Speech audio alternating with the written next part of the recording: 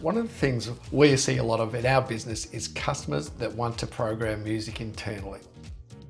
And this is not limited to your local pub or restaurant. We've seen it in multi-site businesses with hundreds of stores. We also work with large agencies and supply to smaller background music operators that don't necessarily have the uh, infrastructure, capability or licenses to do it by themselves. So this video is for both of those customer types, venue DJs and the boutique background music suppliers. By the end of this video, you'll be a programming professional. By the way, if you're new here, this is a channel for businesses looking to improve customer experience and engagement through music, signage, and interactive technology in the bricks and mortar establishments. So click subscribe.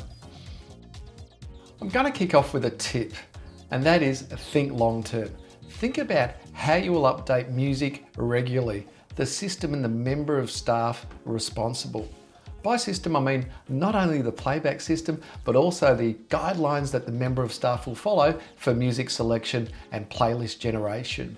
The system you put in place should ensure that the right music is playing at the right time, and that requires a good degree of control and discipline from staff.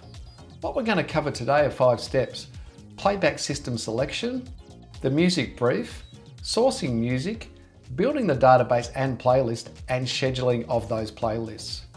A more sophisticated process has additional steps of integration, analytics, and reporting, but we'll cover that off in other videos.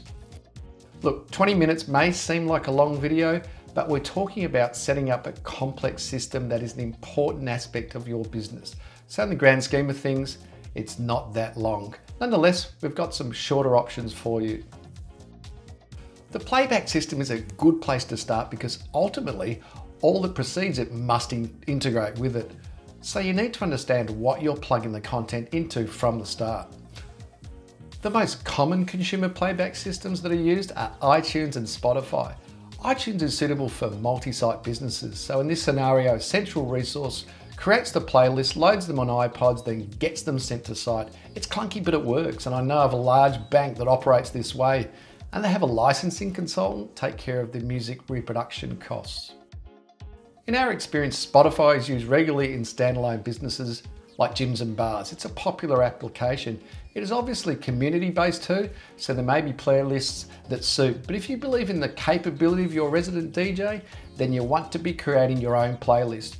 We'll get into that a bit later. If you have any questions, get in touch. We're here to help.